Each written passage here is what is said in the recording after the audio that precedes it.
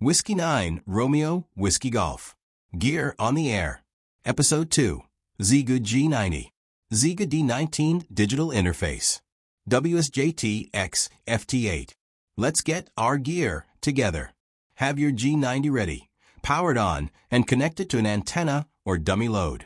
Have the Xiegu D19 USB radio interface available. Have a computer powered on and the software discussed in this video downloaded and installed. Links to the software will be included in the description. You will need a USB-A to USB-C cable. If you're experiencing radio frequency interference, RFI, on your computer, you may notice issues such as difficulty using a touchpad mouse when the radio is transmitting or rig control errors with the software. To reduce interference, consider using a shielded USB cable with ferrite cores, like the one demonstrated in this video. You will need 3.5 millimeters male to male cable to connect from the D19 to the radio. You will need an 8-pin mini DIN cable. Plug the 3.5 millimeters adapter into the CIV jack on the D19. Plug the 3.5 millimeters cable into the communication interface, located on the left side of the radio. Connect the USB-C cable to the D19. Before plugging the USB cable into the computer, collect the screenshot of existing COM ports. This will help identify the new COM port once the D19 is plugged in. Plug the USB cable into the computer.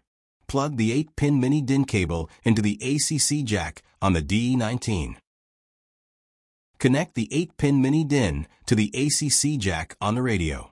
Long press the AGC slash SPL button to access the RF gain. Adjust the RF gain to 100% by spinning the big VFO knob. Press the Funk button, then press the POW button. That will display the microphone gain. Adjust the gain to level 10.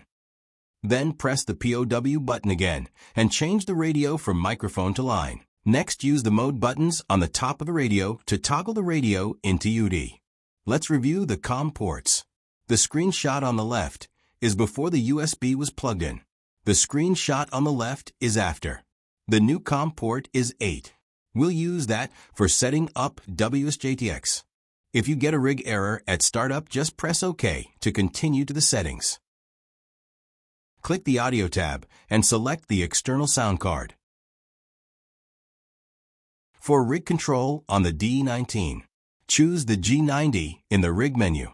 Change the baud rate to 19,200. Select the COM port for the D19.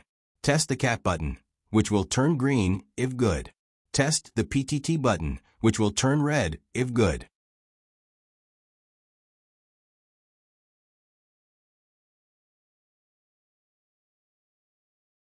Next, open Sound Settings. Select the microphone for the external sound card. Use the slider to adjust the volume. Watch the input volume on WSJTX.